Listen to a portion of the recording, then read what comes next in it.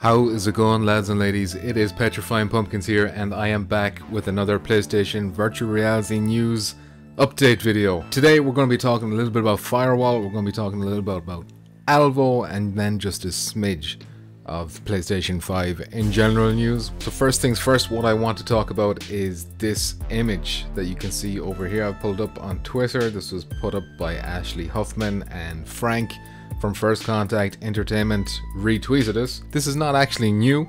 Apparently this information has been around since 2020.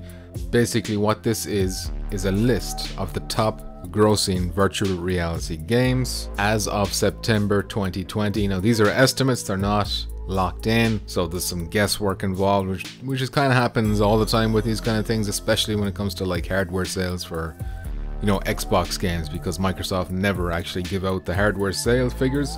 So these kind of companies, this company in particular is Kagan, Kagan Estimates. So I guess they just go out there looking for data to research data, data. I can't remember which one it is I say. And they've come up with these figures uh, basically, from September at least. So it says in the small print, includes games designed specifically only for virtual reality. So this does not include games where there's an additional virtual reality mode included. I assume that would include the likes of Hitman, Resident Evil 7. You know, these are just built from the ground up for virtual reality experiences and games. Also, these are lifetime worldwide sales figures, so it's not just one region like North America like it usually is with these things. This is supposedly global. So let's take a look at the list. A lot of these titles you might notice on the right hand side, they like it shows the platforms. A good few of them are on multiple platforms, so PlayStation and Steam or PC or whatever. And so as expected, Beat Saber is sitting pretty at number one. I should mention the stats here. These bars represent the sales and they are given in millions of dollars. However, I don't see like a like a number to like I, I can't match up the bar length with numbers, so I don't know how many millions that is. I'm just going based on the size of the bars, so who knows what that value of that is in millions. Anyway, Beat Saber number one, not too surprising as I said already, it is on multiple platforms, PlayStation, Steam, you got Quest. Next up then you have Half-Life Alyx, which is like so shockingly close to Beat Saber considering it's just on the one platform and considering it's out what a year a little bit more than a year I can't remember the exact month it came out but uh, Half-Life Alyx very impressive but that's the power of having a huge IP like Half-Life I have no doubt that people have bought this game like big Half-Life fans have bought this game without even having a virtual reality headset in anticipation for when they do get a virtual reality headset next then we drop down and there's a good like there's a pretty decent drop off here between second and third place, judging by the size of these bars. Super Hot Virtual Reality. That's been an evergreen title, it's been on multiple platforms, it is, you know, relatively cheap, and it has been there pretty much, you know, the very early days of each platforms it's had Super Hot. Next up then behind that is like another pretty big drop off, and then from then on, the drop offs aren't as significant, but this is a pretty big one as well. And it's down to Boneworks Virtual Reality, which is that impressive kind of showcase of, I guess, physics and how that all works in virtual reality. It looks like an excellent game, something I'd love to see on PSVR 2, something I think we will see on PSVR 2. I think the developers have even kind of hinted at, towards that. After that, Job Simulator, not a surprising one. That's one that's always in the top 10 when it comes to uh, PlayStation virtual reality sales, so it makes sense that it's up there. After that, then is Pavlov Virtual Reality, which is like PC viewers, big shooter, team-based online shooter, Pavlov. After that, Blade and Sorcery. After that, Arizona Sunshine, and another one that's been around for a long time. It's on multiple platforms, not too surprising. Behind that, Skyrim Virtual Reality, big open world, hundreds of hours, all of that in virtual reality. Not one bit surprising that that made this. Is it 10? Top 10? Yeah, top 10. So ninth place. Now, what did surprise me, in a good way, is Firewall Zero Hour down here in 10th position.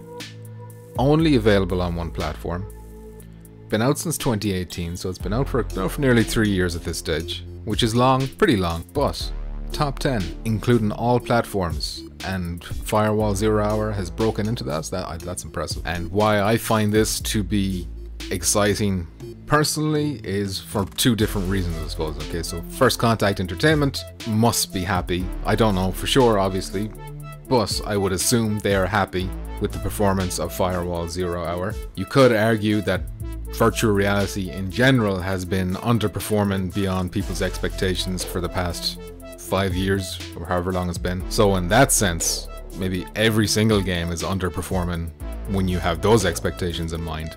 But with the way things have played out, with you know 5 million PSVR headsets, Firewall Zero Hour being in the top 10, surely they're happy with that.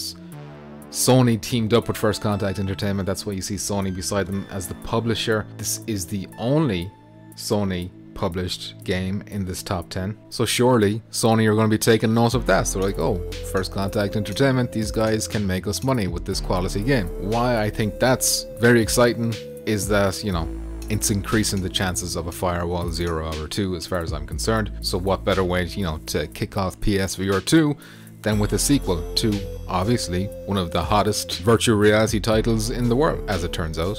And keep in mind, in the small text there, it's saying this does not include expansion packs or add-ons or DLCs or stuff like that. So I can only assume that's not including any of the, you know, season passes updates. This is all about revenue, top gross in VR games. So not necessarily units sold, but how much money these games have made. So based on just unit sales, it seems that Firewall has broken the top 10 worldwide. Very exciting stuff for Firewall fans, for PSVR fans, you know, there's an awful lot of games out there that Firewall is performing better than, based on this list. Now, I am just basing everything off this image. I've been trying to track down like an article to go along with it. I can't seem to find it by doing like a reverse Google image search. I just see us leading me to different tweets and stuff. So I'm assuming it is legitimate if Mr. Frank himself is retweeting us. And uh, all I can say is, well, you know, happy with that. Next topic I want to talk about, we're going to stay on the Twitters. Because this is kind of breaking news, I suppose.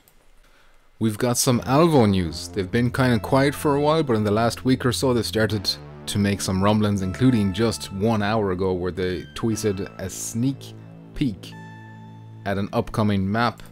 We'll take a look here at these very brightly lit interior and I must say it looks quite nice from these images. I like the brightness. I always like the bright maps in Firewall as well, containment, stuff like that. I don't know what it is about bright colors. Anyway, it's good to see that new content is on the way. If we scroll back a little bit, there's been, you know, an update from a zombie mode that we've been expecting to come to Alvo for a while. Uh, we know it's probably a little bit off from releasing yet. Uh, but here's a sneak peek and they retweeted this from PSVR Underground who posted it up and as AJ pointed out himself is that there are objectives and that there's a cache as well so that there's kind of you know there's more going on here than meets than just zombie killing. You know locate and capture the objective and you've got a time limit for that and then there's like a currency system going on there. So you'd imagine maybe they're they're going for something like Call of Duty Zombies where there might be waves. So you see here in the top right corner round one that could be wave one. Um, and then in between rounds or whatever you're purchasing weapons or ammunition and you're unlocking more stuff as you progress etc etc so everyone who's thirsting for some alvo content it looks like you're going to get that thirst slacked a little bit. Hopefully not too far away. This tweet here does say huge updates also coming this week. So a big update's coming this week although it's not going to be the maps or the zombie mode but there is an update coming. So keep your eyes peeled for that one. And finally, this is just some kind of general, nothing to do with VR specifically. If you've got a PS5, you can note that there is a big software update that is currently in beta, but this one's pretty important though. One of the biggest problems with the PS5 is that it just doesn't have any expandable storage yes, other than external hard drives, but you can't play PS5 games off those you need a certain very specific type of SSD that has to be a certain speed to match what the PS5 can do and then you can upgrade your storage with that. And that is what this beta is going to bring in, it's bringing support for these M2 SSDs since this news came out there have been two manufacturers who've come out and said okay these will work in the PS5. Of course, it's going to cost you. These are pretty expensive upgrades to the storage, I would say. So this is from The Verge. Sony's PlayStation 5 system software beta program is starting to roll out today, and it includes access to the long-awaited M2 SSD slots. That means a variety of Gen 4 drives will be supported, including Samsung and Western Digital. So those are the two big ones Maybe there's more. The way they're talking, it sounds like there's more. But yeah, Samsung 980 Pro and Western Digital's SN850s. This is some complex shit. Just make sure you get the right one if you're going to get one of these.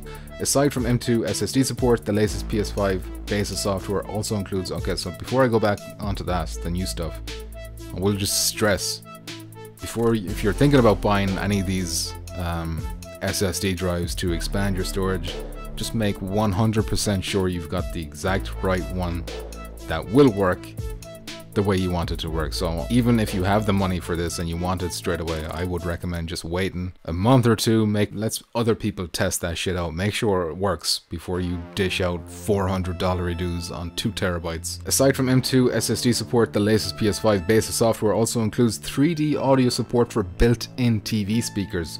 So currently PS5 supports 3D audio, but only if you're wearing certain headphones. I, mean, I will say most headphones seem to be able to do it but there are some headphones that won't work. But anyway, games like Returnal 3D audio is almost like essential in that game so that you know where all the threats are coming from and you're facing the right direction. Uh, they can really enhance the game. With this option, or this update, Sony are going to somehow attempt to achieve that same effect just through the TV speakers. I can't imagine it's going to be half as effective as just using the headphones, but we'll see. And the feature uses the DualSense controller to measure the acoustics of the room to apply a 3D audio set. So I think what they mean is you can do a little like calibration. So it uses the microphone in the DualSense controller to detect what the acoustics are in the room and then based on whatever feedback it gets, it'll adjust the setting accordingly. Sony is also improving other areas of the PS5 software. The control center interface will now include more personalization options for rearranging or choosing controls, and PS5 users will be able to view and write messages to friends and parties from the game base in the control center, so some nice quality of life improvements there. The Friends tab in game base is also being updated with better management options and the ability to see how many friends are online. Sony is also addressing some of the confusing aspects of PS4 or PS5 versions of games. Different versions will now appear separately in the home screen and game library and each game's title will also now include whether it's PS4 or PS5 so that's going to get rid of some of that confusion. This new PS5 beta will also include a trophy tracker that lets players quickly access up to 5 trophies per game through the control center. So another couple of things that this article doesn't mention that I've seen elsewhere online is that trophies are now going to be listed vertically instead of the stupid horizontal thing they've done. So I'm delighted that's going to be gotten rid of. I believe they're also going to be making some changes to the create button function, including, you know, different lengths of times that you can save videos. You can remove the little icon in the corner of the screen that shows when you got a screenshot. But anyway, good news overall hopefully the price of those SSDs will go down as they, you know, compete against each other. There's already two of them available, which is good. So if it was just going to be one available, they'd have a little bit of a monopoly on the markets, at least for the immediate future. But straight away out the gates, it looks like there's going to be two of them battling with each other. So that's going to encourage them to drive the prices down as low as they can. So yeah, that is it for this video. Thank you very much for watching me waffling on and on and on and on and on. If you enjoyed this video, please leave a like or a comment. Before I end the video, let me thank my Patreon supporters whose names are on the screen as I speak. Thanks to their generosity, they're keeping this channel nice and moist. In particular, let me give a shout out to the following top tier Patreon supporters Daniel the Pumpkin Patch Kid, Crumb, Pete Hawkins, and Tradition. Thank you very much for that generosity, lads. It is very much appreciated. If you'd like to help out on the Patreon too, the link to that will be in the description. If not, the likes, the comments, the shares, subscribe, whatever all a big help. Finally, let me thank dicepticon for letting me use his music in all of my videos. You can check him out, dicepticon.com, link in the description. And with that, I will finally end this video. Thank you very much for watching, and I'll see you in the next one. Goodbye for now. Please stay nice and moist. Petrifying.